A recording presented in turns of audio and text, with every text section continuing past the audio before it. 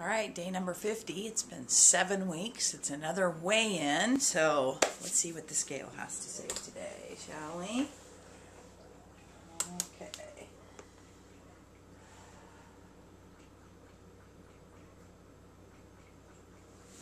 All right.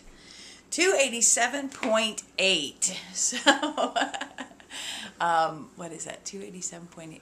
Almost two pounds. It's about a pound and half or something like that. So not bad. We'll take it. We'll take it. Actually, it's almost, what is it?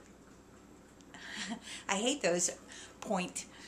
Everything that comes after the point is hard to figure out. So, all right, cool. So we're going to do my measurements now, and we'll be back to share that with you in a little bit. Okay, so weight, weight and measurements are complete.